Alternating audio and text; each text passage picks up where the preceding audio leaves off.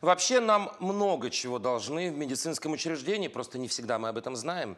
Но точно мы должны помнить, медицина не бесплатная, даже если мы за нее ничего не платим в кассу.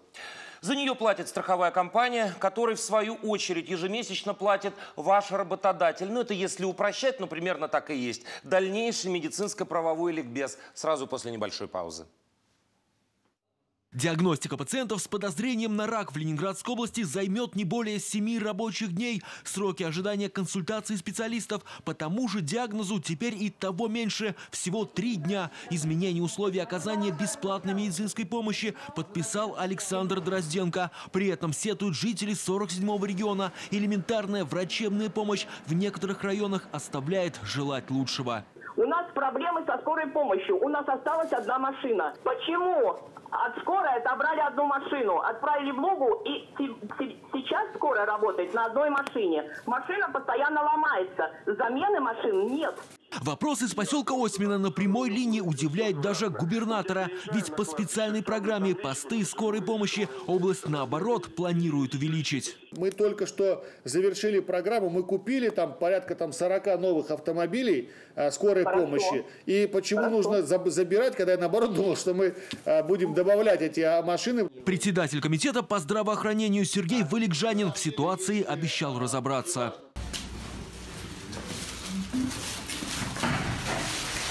Пациентом Токсовской больницы можно стать от одного вида ее коридоров. 30 лет медучреждение стояло без ремонта. И только сейчас в здании начались операции по замене инженерных коммуникаций. В течение года планируется реновация педиатрического и хирургического отделений. А вот больница в Тихвине, напротив, вместе с ремонтом в этих стенах давно работают высокие технологии. И вот сегодня уже не ставят вопрос по оборудованию, сегодня ставят вопрос по технологии процесса. Это значит, что мы вот этот качественный шаг вперед сделали. Сегодня нам уже стоит перед нами вопрос не в оснастке оборудования, а подготовки квалифицированного персонала, который будет на этом оборудовании работать. И в целом, чтобы нам хватало персонала и врачей, и медицинского персонала для того, чтобы все услуги качественно оказывали. Ленинградская область в числе лидеров по борьбе с сердечно-сосудистыми заболеваниями. В регионе лучшие показатели в стране по снижению смертности. На базе межрайонной Тихвинской больницы, как сказал губернатор, будет сформирован региональный сосудистый центр. Подобное медучреждение откроется и в Гатчине.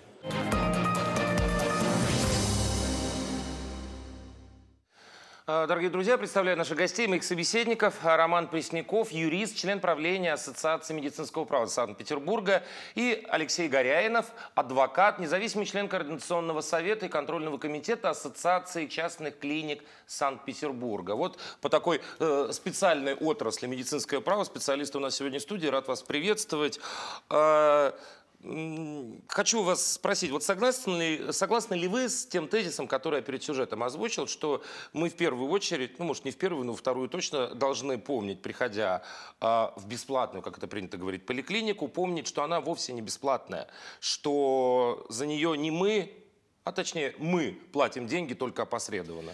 Я, наверное, позволю себе не согласиться с этим тезисом. И вот почему. Дело в том, что пациент, когда идет за получением медицинских услуг, особенно в государственную ну, поликлинику или стационар, он вообще не должен думать о деньгах, и он не должен думать вообще, то есть у него не должно быть чего-либо в голове, что заставит его волноваться. Потому что если человек вообще идет с гипертонической болезнью да, на консультацию, это приведет явно к повышению артериального давления. Человек, который идет получать программу, о, услуги медицинские по программе госгарантии, он должен думать только о том, к какому врачу он идет, и просто подготовиться к этому приема. Все. То есть... Ну, вы, вы, вы знаете, я с вами соглашусь, но лишь отчасти. Я думаю, что такого состояния, такого дзена мы достигнем как раз тогда, когда в голове уже прочно будет сидеть, что за все это мы заплатили вообще-то, и нам должны эту услугу оказать. Ну, при этом я поддержу коллегу и скажу, что все равно, когда пациент приходит, он, ну, если у него не получается, как вы говорите, бесплатно, он должен за это бороться.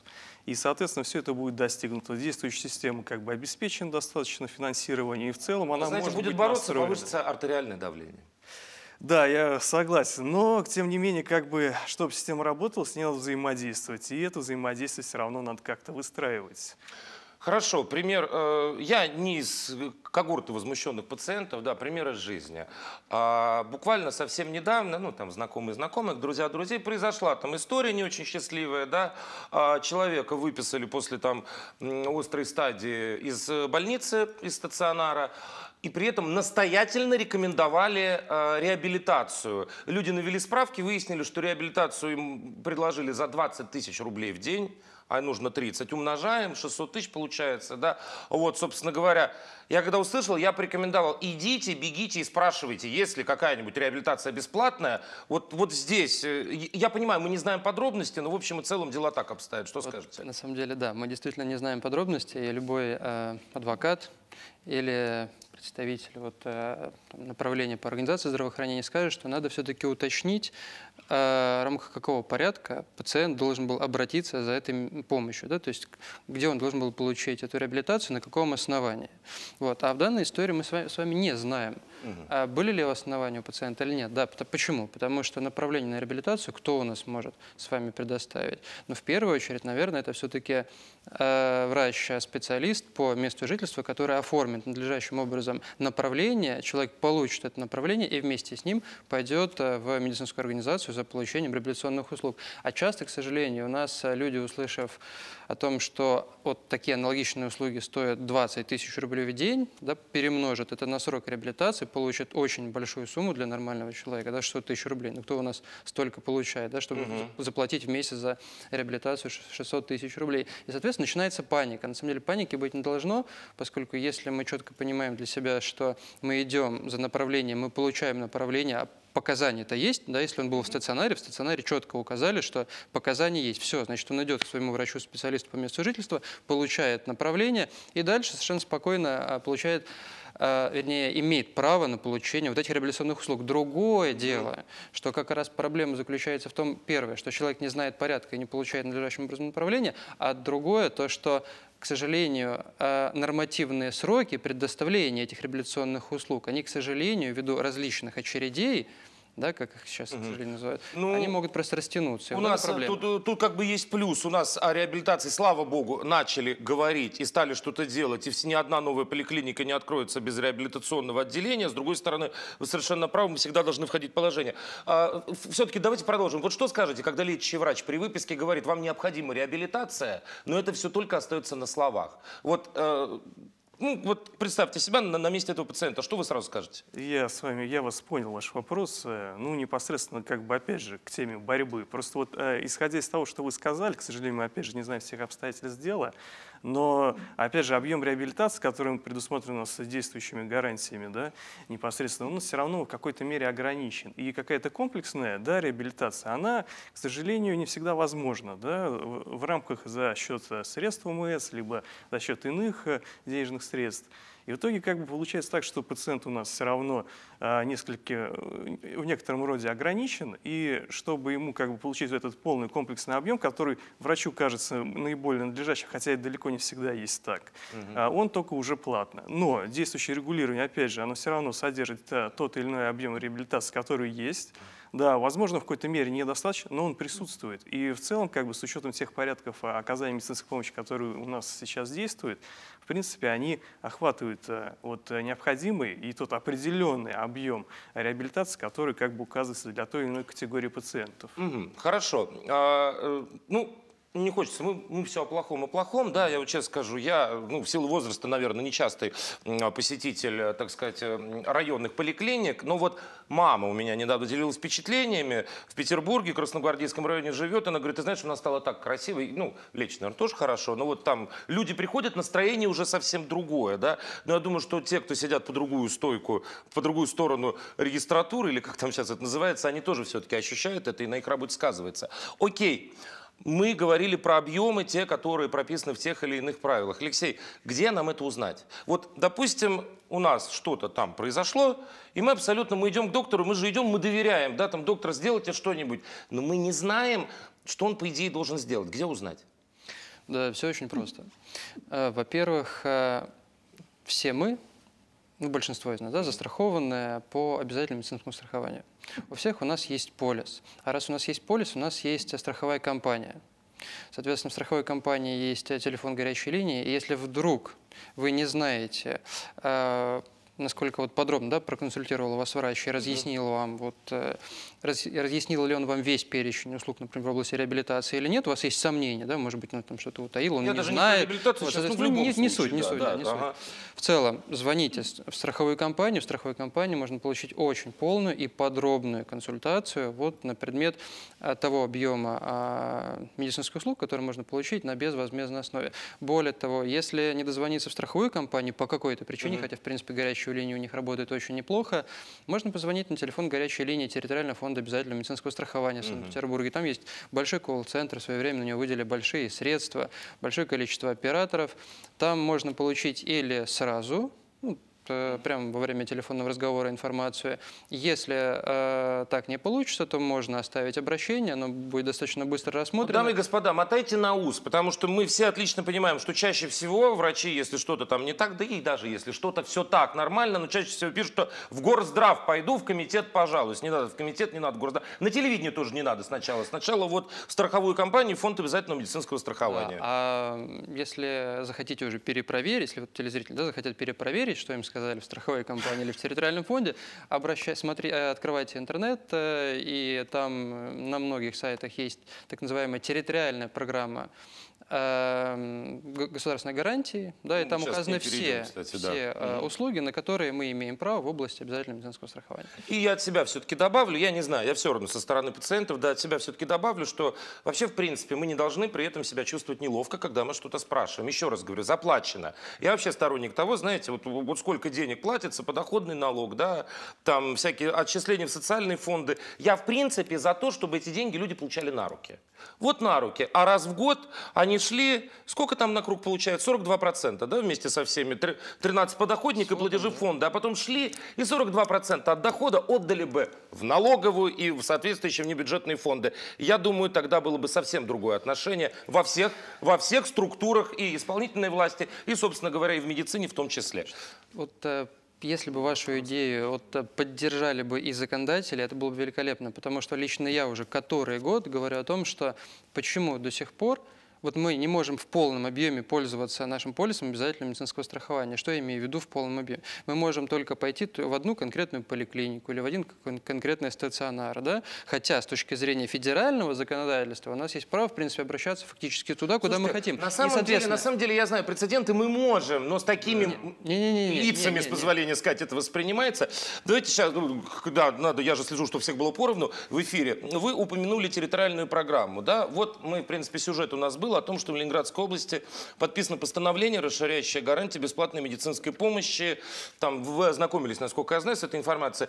А, Роман, что скажете, как вы э, восприняли эту историю? Ну, как бы новость со знаком плюс, на мой взгляд. Ну, в целом, как бы негатива никакого в данном случае нет. Все равно, как бы у нас в каждом субъекте стараются расширить по возможности, в случае, если есть какие-то иные средства, не только которые предоставлены территориальным фондом обязательного медицинского страхования и переведены из федерального фонда вниз, но и за счет тех средств, которые у нас, как бы необходимо все-таки уточнить, что у нас все-таки есть два способа финансирования. За счет средств ОМС и бюджетные денежные средства. И часть медицинской помощи финансируется либо так, либо так. Если бюджетных денежных средств конкретного субъекта несколько больше, он постарается расширить, предоставить какие-то дополнительные услуги и так далее.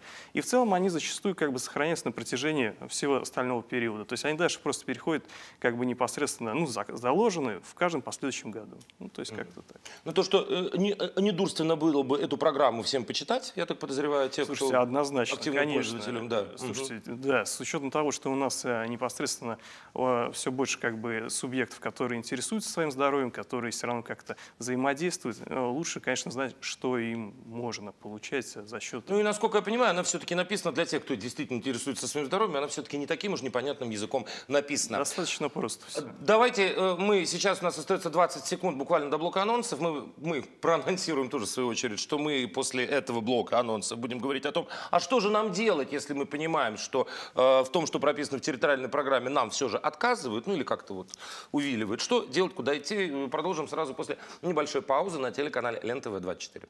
Дорогие друзья, мы на самом деле не молчали, сейчас оживленная дискуссия была, да, то вот э, буквально прервались и, по-моему, на две программы еще целых наговорили, да, в общем-то, говорили о частной медицине в обязательном системе обязательного медицинского страхования, вот отдельную программу точно по этому поводу сделаем, ну а пока давайте нашей какой-то парадигмы, да, придерживаться. Итак, территориальная программа, мы знаем, что нам должны, и вот мы приходим в поликлинику, и нам в чем-то там отказывают. Что нам делать, Роман? Слушайте, ну уже мой коллега непосредственно об этом сказал. Все-таки не каждый человек застрахован, как конкретно страховая медицинская организация обращается в страховую, и страховая достаточно оперативно все эти вопросы решает. Как бы. Понимаете, у нас какая история? А, у нас ведь когда в чем-то отказывают, ну, как, как правило, не говорят же «пошел вон», да, и там «не дадим». Как правило, есть какая-то причина. А, нет специалистов, нет еще что-то, да. Допустим, э, вот запись к специалисту такому-то через там два месяца, и мы отлично понимаем, мы смотрим, у него все забито, он не может принять. И мы вот наша вот эта привычка всегда входить в положение, мы всегда понимаем. Вот вопрос, даже если есть объективная причина нам отказать, нету возможности абсолютно, да, мы должны входить в положение. Безусловно, нет. Ни в коем случае. И почему я так говорю? Потому что, в принципе, вот а, вся система нашего здравоохранения, она создана таким образом, что вот пациент не должен быть просителем с законодательной точки зрения. Если мы посчитаем закон, государство обязано, в отличие от многих других юрисдикций, в том числе Соединенных Штатов Америки, у нас государство обязано создать такую систему, чтобы медицинская, была, чтобы медицинская помощь была качественной, раз, доступной, два, и предоставлялась, кстати говоря, по потребности населения. Это и есть вот, социальное государство, со- да, коим США не в той мере да. является, конечно. Соответственно, ни в коем случае пациент, приходящий в медицинскую организацию, не должен быть просителем. Он приходит получать то, на что он имеет полное право. Если в данном каком-то конкретном медицинском учреждении, организации да, не предоставляется эта медицинская помощь, хотя они должны, безусловно, пациент, он должен выслушать, он не должен, вот первое, что не нужно делать, это конфликтовать. Ни в коем случае, потому что это вот зря потраченное время. Нужно просто уточнить причину, с одной стороны, да? с другой стороны, э, перепроверить эту причину в страховой компании. Это можно сделать незамедлительно, позвонив по телефону. И страховые компании очень любят получать подобного рода звонки, потому что они как могут отреагировать? Потому что они считают деньги. Потому что они, они считают деньги раз, а в два они могут оштрафовать медицинскую организацию за нарушение права потребителя. Более того, даже вот э, наша предыдущая министр здравоохранения Вероника Игоревна Скворцова, да, она вот начала такую м, своеобразную инициативу, которую, кстати говоря, нельзя назвать э, такой негативной. Да, э, она, предлага, она вводила в медицинских организациях первичного звена так называемого страхового представителя. То есть, иными словами, представителя вот, системы ОМС, страховой компании, который за ручку должен Такая был водить медицинская пациента. прокуратура. Не-не-не, как раз-таки не прокуратура, а я бы сказал медицинский ассистент, медицинское а. такое дополнительное сервисное а сопровождение да, э, стороны вот э, системы ОМС, так чтобы вот, э, если что, страховой представитель фактически за ручку инициатива эм, реализуется каким-то а, образом. Да, каким-то образом Каким реализуется. Знаем, где вот, но тем не менее, если в поликлинике есть страховой представитель, обратиться также к страховому представителю и э, получить необходимую информацию о том, обоснована ли вот эта причина отказа или нет. Ну и, безусловно, конечно, нужно знать непосредственно а, свои права. То вот, есть, слушайте, э... у, у меня вопрос, классическая ситуация. Роман, скажите, я прихожу к врачу, он немногословен. Ну, опять же, его надо понять, он с, людьми работает. У нас, знаете, есть такое, с людьми работать, это все тяжело, и мы его понимаем. Он немногословен, он ничего не говорит, когда ты ему хочешь поделиться своей болью, в буквальном смысле поделиться болью, да, он вас рвет конкретней там и так далее. Нет, его с одной стороны можно понять. Ему нужна конкретика, у него там 15 минут на прием выписаны и так далее и тому подобное. Мы к, таким, к такому поведению как должны относиться? Как к проявлению высочайшей степени профессионализма? Это хороший вопрос, но это уже ближе к этике непосредственно, чем к праву потому что с правовой точки зрения, если он, в принципе, надлежащий оказывал медицинскую помощь, то к нему претензий, к сожалению, быть не может. А с этической стороны, конечно же, все-таки врач должен подходить несколько иначе к пациенту и все-таки иначе взаимодействовать. Да, конечно, здесь может в какой-то стороне все-таки встать на сторону врачей и сказать, что а, у них там большая загрузка, не 15, а 5, но, опять же, это неправильный подход, потому что все-таки пациент у нас как бы центральное звено, выделено в рамках 323 э, федерального закона и в целом в рамках всей системы обязательного медицинского страхования в том числе. И, соответственно, как бы это некорректно. А, с другой стороны, ну, я, же... Вот скажите, пожалуйста, я описал э, достаточно типичную ситуацию? К сожалению, я думаю, что да. Угу. Хорошо. упомянули, упомянули сейчас о том, что страховая компания может оштрафовать за нарушение прав потребителей. Минуточку, читаем здесь, подождите, где-то у меня в заметках, значит, Комитет Госдумы по охране здоровья, я уж точно там, я так понимаю, что они рассматривали на заседании комитетской рабочей группы недавно, 23 января, вопрос о том, вообще правомерно ли существование термина «медицинская услуга». Председатель этой, этой комиссии, значит, Комитет Госдумы Дмитрий Морозов, он, в принципе, значит, не против, чтобы это понятие убрали из законодательства, медицинская услуга, но, я так понимаю, основная идеология всей этой инициативы – убрать медицину из-под действия закона о защите прав потребителей. Вот сначала для чего хотят, что это значит, если уберут, и как вы относитесь к этой инициативе? Ну, э, начну с Э, штрафа за нарушение прав потребителей. В первую очередь, естественно, страховая компания будет штрафовать за нарушение прав пациентов и нарушение прав застрахованных лиц в системе обязательного медицинского страхования. Теперь, что касается прав потребителей. Я считаю, что для нашей страны, для наших пациентов это несомненное завоевание, что мы все можем пользоваться а, правами, указанных в законе о прав потребителей при обращении в медицинскую организацию. Медицинские организации этих прав боятся как огня. Угу. Потому что наш закон защиты прав потребителя, он блестяще составлен. Великолепная юридическая техника, очень конкретная. И в случае, если э, права, закрепленные там, не исполняются, можно привлечь к конкретной ответственности. Приведу пример. Э, все мы знаем, да, что срок э, на рассмотрение жалобы потребителя в медицинскую организацию, да вообще в любую организацию, 10 дней.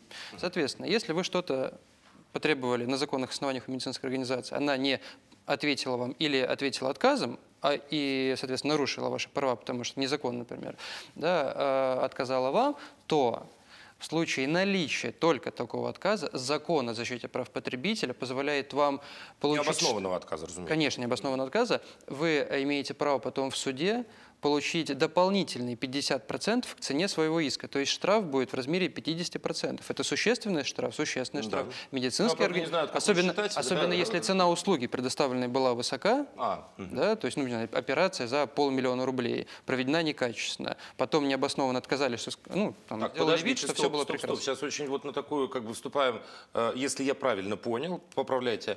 То есть если вдруг, опять же, мне отказали там в сроки предусмотренные, там, там закон законом, страховым полисом территориальной программы, не знаю точно, да, если мне отказали, допустим, в приеме или там в какой-нибудь плановой операции в предусмотренные сроки, ну, войдите в положение, то я могу идти и с вот этой жалобой а, Конечно, вы можете обращаться с жалобами, безусловно, в том числе. Вот. Но э, я почему привел пример... Отказали в приеме специалиста. Вот скажите, Роман, отказали в приеме специалиста. К нему большая очередь, он один на всю поликлинику, да? А через два месяца будет. Это повод идти э, требовать э, там, восстановления себя в права как, как, как потребителя? Давайте, может быть, я все-таки отвечу на этот вопрос, потому что у меня в практике эти случаи uh-huh. чаще бывают, э, судебных споров. Дело в том, что вот как практикующий адвокат в этой сфере могу сказать, что вот если услуга была предоставлена, э, скажем так, если услуга требуется не по жизненным показаниям, да, если это просто на какую-то предоставление какой-то консультации отказали, я бы посоветовал все-таки разрешать э, вот эту, эту, эту конфликтную ситуацию не внесудебным путем, безусловно, потому что единственное, Суд что, в первую очередь потому что единственное, да, что да, можно получить, это совершенно грошовую компенсацию морального вреда и фактически не более того. А, но если речь идет действительно о каком-то серьезном вмешательстве, которое нужно еще по жизненным показаниям, а в нем отказывают, вот тут-то как раз, если никакие иные средства не действуют, можно уже попытаться обратиться и, э, скажем так, за судебной защитой. Я тут осознал, знаете что, я тут осознал всеобщую атмосферу программы. Уважаемые телезрители, мы ни в коем случае не подбиваем вас на сутяжничество. И, уважаемые работники медицинской отрасли, мы ни в коем случае не сидим и не думаем о том, какие вы плохие и какими методами мы на вас хотим надавить. Мы, в принципе, сейчас разбираемся с нашими правами, как людей, а, так же, как и вы, уважаемые врачи, доктора, медсестры, когда приходите куда-либо, где вы тоже защищены правами как потребитель, в общем-то, тоже имеете право на защиту своих прав, как и все остальные. С какими жалобами чаще всего приходят, Роман? Вот, вот какой-то есть рейтинг, на что жалуются? Да жалуются в целом как бы на все, если мы говорим. Все, занавес, да. Ну нет, определенно понятно. В первую очередь, как бы это нарушение сроков оказания медицинской помощи. У нас непосредственно они определены, да, как бы предельные. И, соответственно, зачастую происходит нарушение в силу, как вы уже говорили, правда, там один врач на всю поликлинику, у него там запись на две недели, а там непосредственно должен принять 14-дневный срок, а не получается, к сожалению. Это первый момент. А Второе, как бы этическая сторона, которую мы также сегодня затронули, непосредственно жалуется, что врач себя вел грубо, либо еще как-то, но, к сожалению, как бы это иная форма, да. Ну и третье, непосредственно то, что услуга была оказана как бы некачественно, по субъективному мнению непосредственно пациентов, и как бы это уже непосредственно они в страховую. Ну, либо они, например, в территориальный фонд, как мой коллега сказал, а территориальный фонд уже это все равно взаимодействует даже с страховой, чтобы выяснить все обстоятельства дела. И как бы это основной рейтинг, наверное, топ-3. А знаете, какой у меня вопрос? А, Качество услуги. Как потребитель может... э, Вот, вот, вот как дальше происходит процесс? Потребителю кажется, потребителю, пациенту, потребителю, человеку, физлицу, да, ему кажется, что ему некачественно оказали помощь. Приходят жалобы. Как дальше? Кто разбирается в качестве оказания? Вот слово «к- «кажется» — это ключевое слово. Ну, А, том, извините, поэтому надо что- идти к специалисту. Почему? да. Абсолютно. Потому что с точки зрения нашего закона и с точки зрения просто здравого смысла э, пациенты не обладают специальными познаниями в этой сфере. Поэтому понять, качественно им оказали услугу или нет, они не могут. Они могут почувствовать, да, вот помогла ли им эта услуга, да, то есть улучшила состояние их здоровья или повысила Вот- вот- вот я жизни. чувствую, что де- некачественно. что- что делать, если у вас есть такое подозрение? Э, Во-первых, э, вы, безусловно, имеете право обратиться в медицинскую организацию. Медицинская организация должна провести контроль качества, провести врачебную комиссию, дать э, свой э, вывод. Но мы понимаем, что, к сожалению, большому Ну, слушайте, у нас- бывают нередко такие случаи, когда комиссия рассматривает и в очевидных случаях, вопиющих случаях не находят дефектов оказания медицинской помощи. Потому что у нас, в принципе, это стереотип или нет, я не знаю, но у нас всегда, что врачи стоят стеной за своих. Это нередкая ситуация, действительно, поэтому Ну, а, давай по такой работе, по таким делам, конечно, нужно привлекать людей, знающих, как им заниматься. А, Так вот, значит, кто у нас по-настоящему может осуществить контроль качества медицинской помощи? Первое – это, безусловно, страховщики, страховая медицинская организация, территориальный фонд медицинского страхования. Второе э, – это Росздравнадзор, в который пациенты обращаются с жалобами, и у них есть право сейчас в соответствии с действующим административным регламентом на привлечение к проверкам специалистов в А- каждой а конкретной есть? Желание, я хочу сказать, что Росздравнадзор намного повысил эффективность своей работы. Намного. То есть, Начались если- хорошие новости. Потому что если... Так нет, в принципе, вообще, мне кажется, передача, на этой передаче много хороших новостей, вот начиная с Ленинградской области. Но если, слушайте, сократили сроки ожидания вдвое, это прекрасная новость. Другое дело, что как это будет потом на практике, но А, а- а- увидим. а как, э, как будет на практике, что если мы с этим столкнемся, мы об этом, в принципе, всю программу говорим. А, слушайте, время уже подходит к концу, у нас три минутки осталось. Мы все о плохом, да о плохом. Тенденции какие, Роман, вообще, в принципе, в целом? Я считаю, что тенденция более чем положительная с учетом э, нового национального проекта здоровья, который включает в себя четыре очень важных для граждан блока. Это первое – онкология, сердечно-сосудистая, первичная медико-социальная помощь и детство. Если они все будут реализованы в полном объеме, финансирование все-таки выделено, то мы будем ощущать изменения. Мы уже их ощущаем. Сокращение сроков ожидания медицинской помощи, соответственно, срок реакции страховой медицинской компании в случае нарушений и так далее. То есть в целом тенденция должна быть положительной. Другой вопрос реализации.